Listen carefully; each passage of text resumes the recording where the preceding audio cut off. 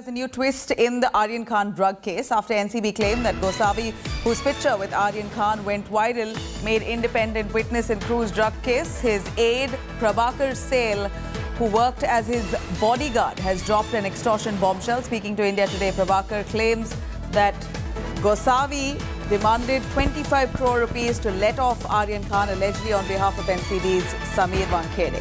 Gosavi claims that Shah Rukh Khan's manager Pooja Dadlani met Gosavi. He said that Gosavi agreed to settle on 18 crores.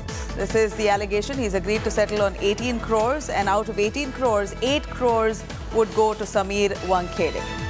For some serious allegations here, Gosavi also claimed that he was made to sign blank papers as Panchnama and also claimed to accompany him on the night of the cruise raid.